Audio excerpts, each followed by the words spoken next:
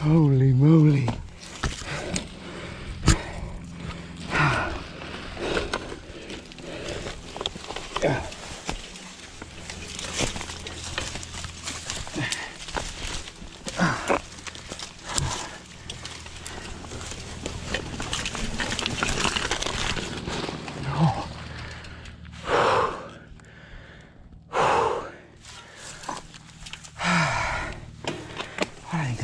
Planned it.